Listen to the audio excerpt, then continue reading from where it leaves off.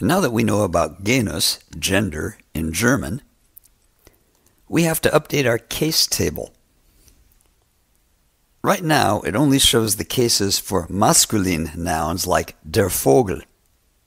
We have to expand our table for the other two genders. In nominative, the definite article, the word the, is der for masculine, die for feminine, and das for neutral. The forms for accusative are den, die, and das. The dative forms are dem, der, and dem. Finally, in genitive, you use des, der, or des, depending on the noun's gender. This looks complicated, and you might be wondering, how am I ever going to learn all of this? While you can memorize the table, you'll learn it better by using it and seeing it in action.